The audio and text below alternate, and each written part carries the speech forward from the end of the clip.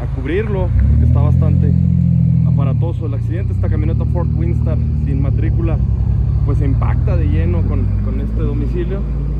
Tremendo susto se llevan al, al ver la camioneta que se lleva la esquina, asusta, asusta bastante.